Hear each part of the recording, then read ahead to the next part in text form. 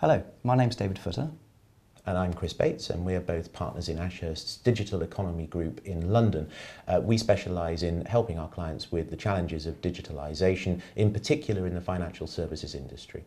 In this webinar, we'll be discussing some of the issues to consider when taking a cloud-based approach to developing your products and services in, in fintech and financial services.